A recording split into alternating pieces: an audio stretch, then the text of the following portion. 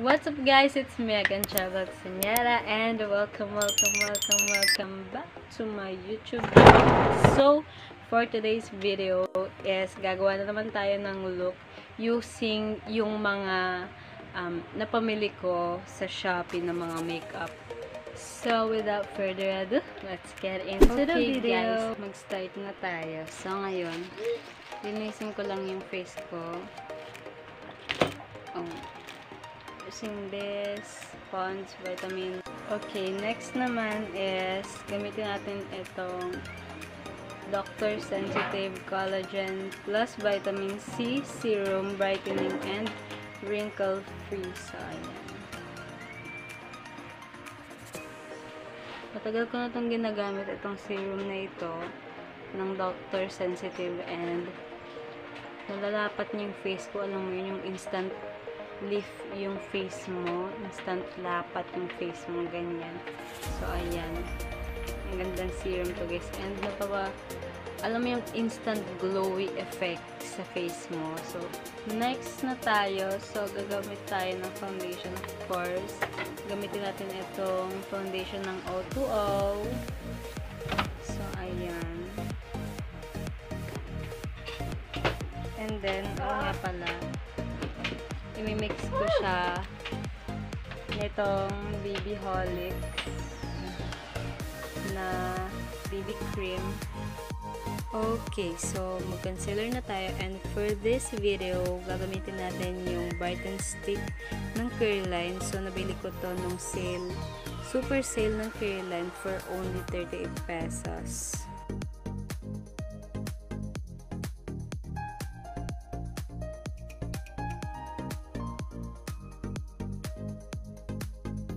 Okay, may mag-eyebrows na tayo. So, gamitin ko na itong super cutify.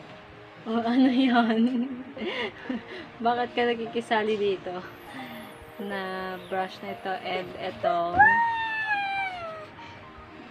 fashion color brown ng Ashley Shine.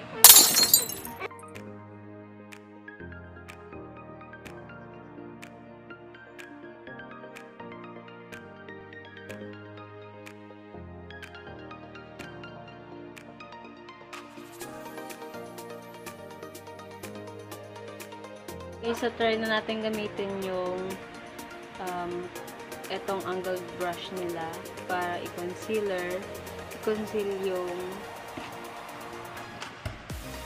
eyebrow ko. So, ayan. Wala ako ng konti, guys. And then, okay, bake ko lang yung under eye ko para dito tayo sa eyes. Sobrang lambot talaga na itong brush nila, guys. Kunin ko tong yellow na to. And din yung um, gagawin natin transition shade. And gagamitin ko lang itong blending brush nila. So. Medyo powder itong pad na sa, nakikita niyo ba yan? Oh.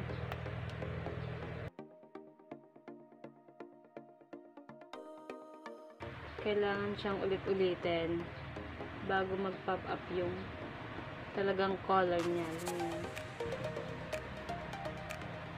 So, ayan.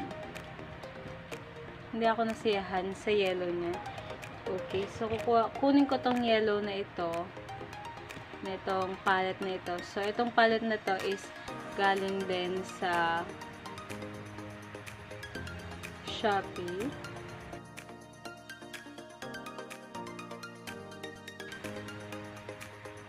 Okay, medyo lumilitaw na yung color kahit pa paano.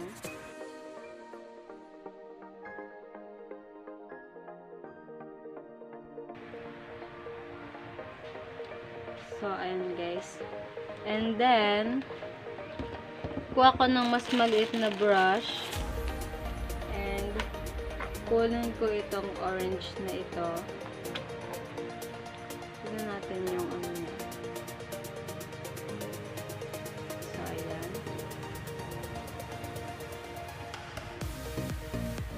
And ilagay na din sa outer corner. Okay, next, kunin ko tong brush na ito and ito. So, para mag-dip lang yung color niya dito, guys. Okay, next is linisin na natin yung part na lalagyan natin ng glitter stick. Ito, itong part na to. So, yun.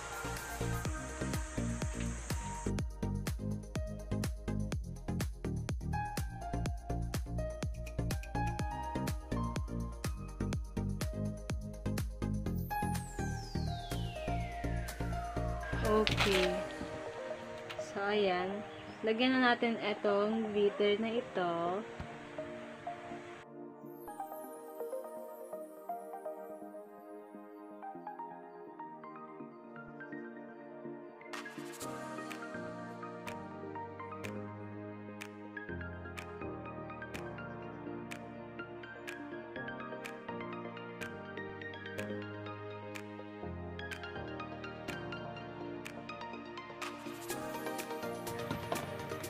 Flat ito and then ay!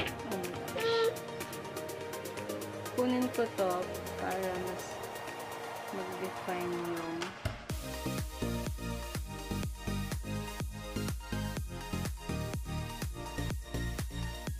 Okay, next is gamitin ko tong purple na to and yun yung lalagay ko dito sa inner corner ng eyes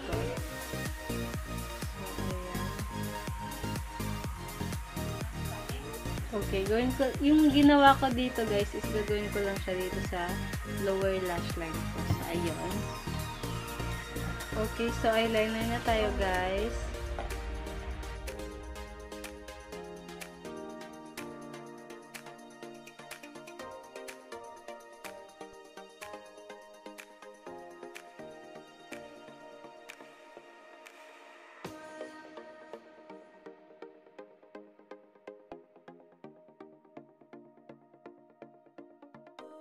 Inaalis ko lang yung powder na nilagay ko sa under eye ko. And now, it's time for the contour. At gagamitin natin itong Nude Eyeshadow and contouring palette ng Ashley Shine.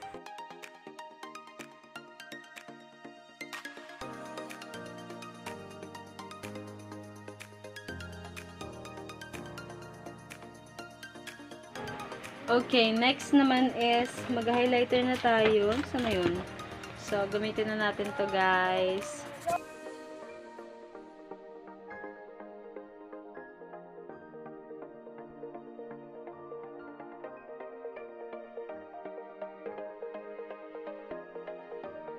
Okay, malapit na tayo matapos. So, sa lips na tayo. Gamitin ko itong Ara Colors Matte Lipstick in the shade Bronze. So, ayan. So, ayan yung ano. Kaiba yung ano niya ah, yung applicator niya. So, ganito siya.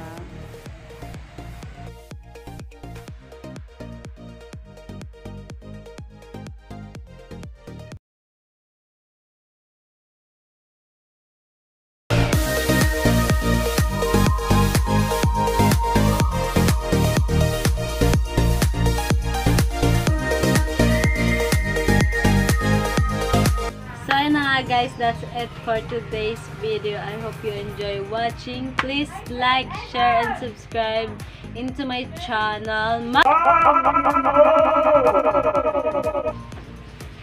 So, yes, that's it for today's video. Thank you guys for watching and see you on my next one. Bye!